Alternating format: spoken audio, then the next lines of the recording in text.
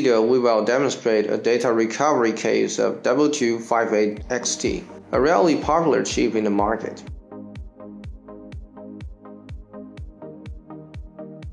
Upon entering the corresponding utility, there shows three LDR options, which were prepared for three different firmware versions. If we don't know the firmware version of the controller, we can try them one by one.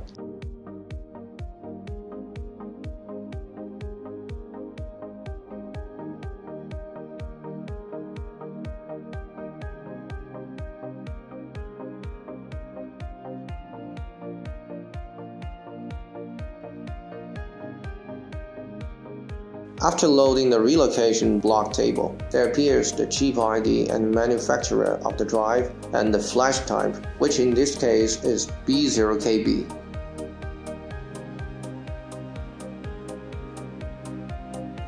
Now we run the virtual translator. Our own debug file is required to proceed. As for what version of the debug file to use, we can refer to the flash type. The flash type in this case is B0KB as shown before. So now we can search for the ROM debug file with the word B0KB.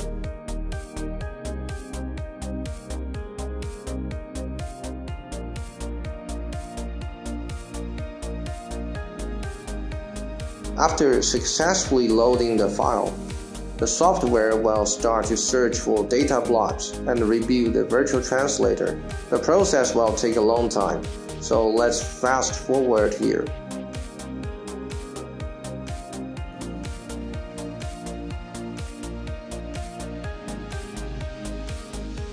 When the rebuild of translator has been complete, we need to make a record about the capacity because we need to fill the capacity manually when creating a copy task. Now let's create a task in Data Extractor. Note that in the initialization settings, read device information shall be disabled.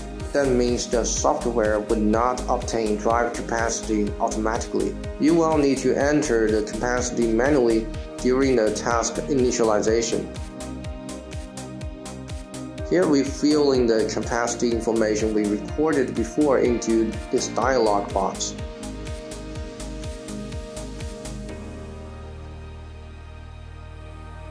Now optimize the parameters for the copy task. Special attention should be paid to the fact that transfer mode must be factory read mode. Only in this mode can the virtual translator take effect.